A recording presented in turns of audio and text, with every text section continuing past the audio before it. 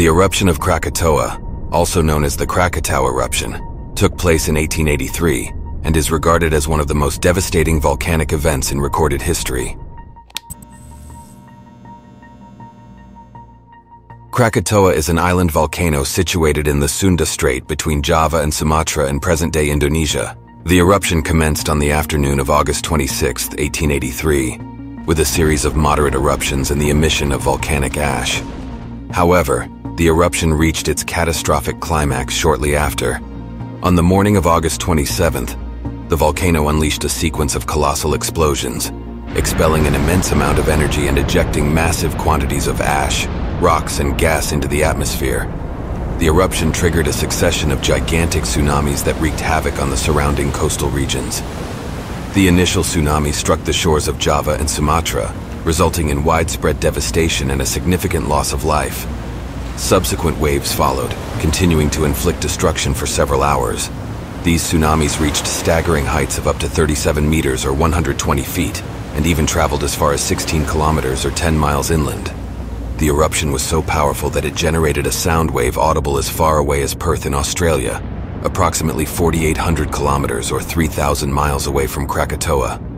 This sound was described as a series of thunderous explosions that reverberated throughout the area.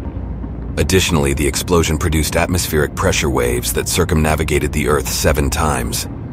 The volcanic ash and gases discharged into the atmosphere had significant climatic ramifications.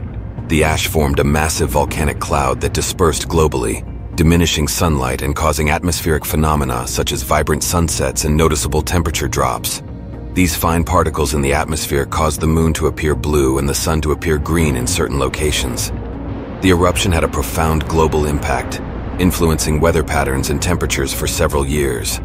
The volcanic cloud resulted in a decrease in global temperatures by up to 0.6 degrees Celsius, or 1 degree Fahrenheit in the subsequent year, leading to abnormal weather patterns and crop failures in some regions. It is estimated that approximately 36,000 lives were lost due to the eruption of Krakatoa. Entire villages and settlements were obliterated, and the devastation was widespread. The catastrophe prompted heightened interest in the study of volcanology and volcanic eruptions. Following the 1883 eruption, Krakatoa experienced more minor eruptions along with nearby volcanoes, leading to the formation of a new volcanic island named Anak Krakatau, meaning Child of Krakatoa.